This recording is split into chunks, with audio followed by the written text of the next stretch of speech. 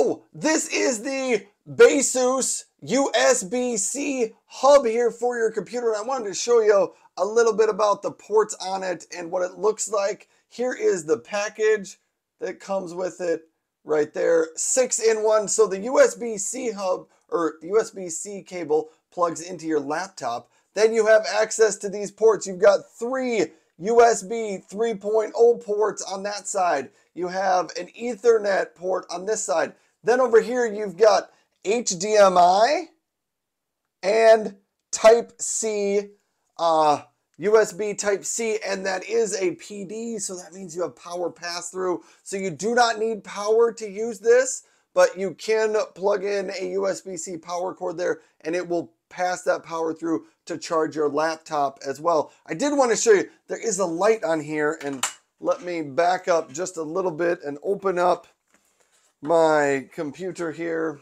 Nothing really to see on the computer, but if I plug this in to one of those ports, you can now notice it lights up in blue to let you know it is on and it is working. So that is the Baseus 6-in-1 hub right there. So thanks for watching.